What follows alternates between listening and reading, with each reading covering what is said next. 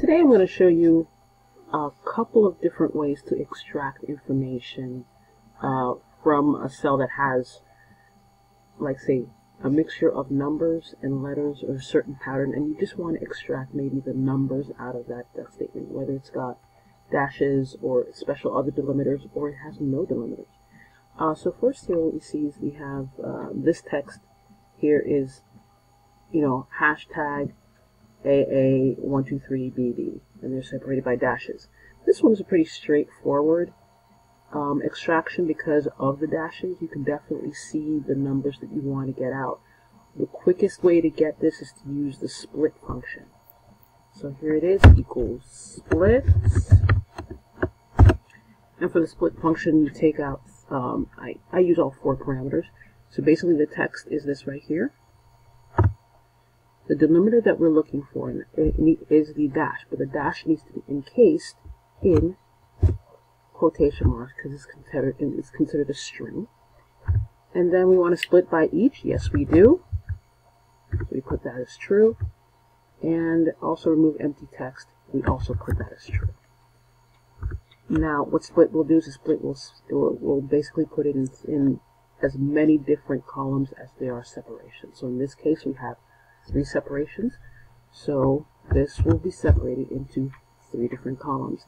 And this is easy because if you have this specific pattern and you know that the number's in column 2, you can basically name the column 2 as, say, you know, and then use that for whatever you need. So that's one way to get rid of or to extract the, the numbers out of a particular string.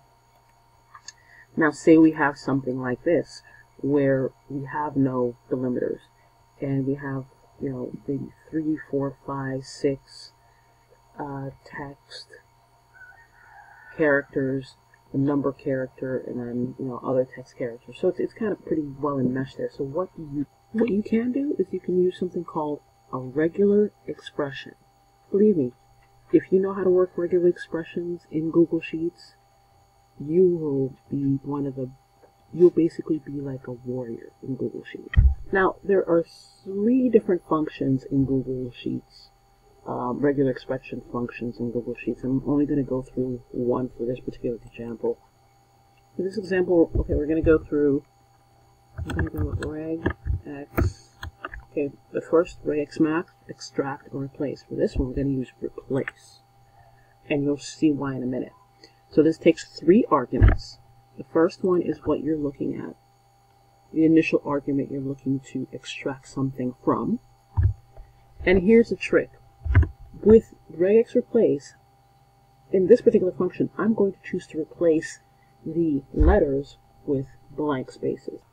Okay, so how we do that is basically we have to encase it in, um, the syntax is very particular. So in this case, we're going to encase it in square brackets. First, we're going to make sure that we get all the letters. So we have to put in A through Z, lowercase, then uppercase A through Z, capital.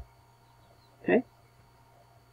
And this all has to be encased in quotation marks because it is a string that you're looking for.